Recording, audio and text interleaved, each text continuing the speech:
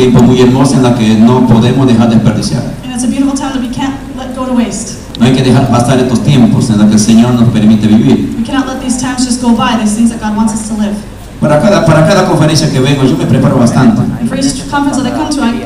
Me preparo mucho en oración, me preparo Pray a con el. Señor. Ayuno, oro, porque me da temor hablar de parte mía. Quiero que Dios haga